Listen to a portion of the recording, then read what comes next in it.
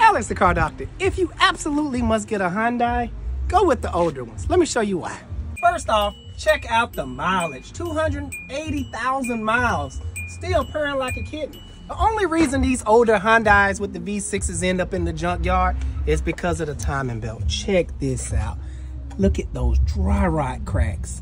I'm scared to crank this car up right now. This car came in for a skip with cheap wires on it. So I'm gonna sell them some wires and timing belt and he should be golden for another 100,000 miles. Alex the Car Doctor out.